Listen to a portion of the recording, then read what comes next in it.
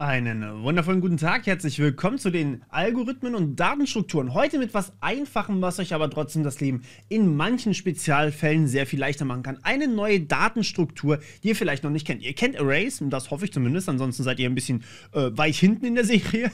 Aber ihr kennt vielleicht noch nicht die zyklischen Arrays. Zyklische Arrays, naja, schauen wir uns erstmal die klassischen Arrays an. Diese sind ja normalerweise jedes Element nach dem anderen. Das heißt, nicht unbedingt vielleicht als Liste gehandhabt, sondern häufig auch einfach mit Speicherplatz. Aber im Endeffekt kann ich immer berechnen, wo mein nächstes Element anfängt. Das bedeutet, ich habe mein A, dann weiß ich, okay, nach meinem A kommt halt mein B und irgendwann habe ich auch ein Ende. Also im Endeffekt macht es keinen Unterschied, ob wir ein Array oder eine Liste angucken für diesen speziellen Fall. Was wir aber brauchen, ähm, ist auf jeden Fall nicht das. Denn wenn wir nach G wieder eins weitergehen, dann, dann haben wir normalerweise immer einen Fehler, einen sogenannten Out of Bounds. Und das führt häufig zu Problemen im Code und für manche Probleme, also für manche ähm, algorithmischen Probleme, ist das einfach auch nicht wirklich naja, sinnvoll. Denn manchmal möchte ich einfach die ganze Zeit dasselbe tun. Manchmal möchte ich einfach auch wieder von vorne anfangen. Stellt euch zum Beispiel vor, dass Leute an einem Tisch sitzen und die miteinander diskutieren. Der Nachbar G hat trotzdem den Nachbarn A, wenn der Tisch rund ist. Und natürlich kann er auch eckig sein, aber trotzdem kann er quasi sagen, mein rechter Nachbar, mein linker Nachbar. Und so ist es halt auch in vielen Fällen irgendwie gehandhabt. Und das bedeutet, wenn wir hier mal gucken, wie das vielleicht effektiver oder effizienter gehen würde, dann haben wir vielleicht auch sowas. Unser Nachbar A verweist auf B, verweist auf C und D und so weiter und so fort. Und G verweist wieder auf unseren Nachbar A.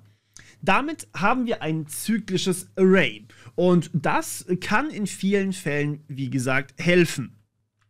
Was das Einfügen angeht von neuen Elementen oder auch das Löschen von alten Elementen, die drin sind und nicht mehr drin sein sollen, ist es eigentlich relativ unkompliziert. Man packt einfach ein Element hinten dran in der im normalen Array oder in der normalen Liste und hier hat man halt einfach ein Element mehr dann drin. Die spannende Frage stellt sich eher nach der Implementierung, wie man das tatsächlich machen würde und naja, sind wir mal ehrlich, eigentlich so kompliziert ist es gar nicht.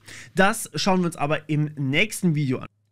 Vielleicht auch noch nicht unrelevant, ich habe ja gerade einfach gezeigt, wie ein Element hinten dran gemacht wird. Das wäre eher der Fall bei einer Liste. Ähm, bei einem tatsächlichen zyklischen Array habe ich eine feste Anzahl an Elementen normalerweise. Und hier muss man ein kleines bisschen umdenken. Wenn wir uns das Ganze nochmal kurz angucken, haben wir ja hier normalerweise A, B, C, D, E, F, G. Das heißt, wir haben hier sieben Elemente. Und wenn wir noch ein Element hinzufügen wollen, dann müssen wir unser Array physisch wirklich erweitern. Das heißt, wir müssen das Array in ein neues Array reinkopieren und dann eins größer machen, also das neue Array. Oder zum Beispiel 10 größer oder 20 größer oder wie viel auch immer größer machen. Das heißt, ähm, selbst bei einem normalen Array ist das Hinzufügen von Elementen alles andere als trivial. Es geht hier aber gar nicht um das Hinzufügen, sondern es geht eher darum, dass man intern weiß, dass nach dem neuen Element eben, also nach dem letzten Element in diesem Array, das erste wiederkommt. Das heißt, das ist eigentlich bloß eine Art von, wie handhabe ich das intern? Ja, und ähm, wie gesagt, das schauen wir uns im nächsten Video an, denn ich versuche die ganzen Videos hier modular zu halten für die Leute, die vielleicht auch nicht unbedingt Python können. Ähm, die können trotzdem hier zugucken und das vielleicht auf andere Sprachen wunderbar übertragen. Alles klar, in dem Fall bis zum nächsten Mal. Ciao.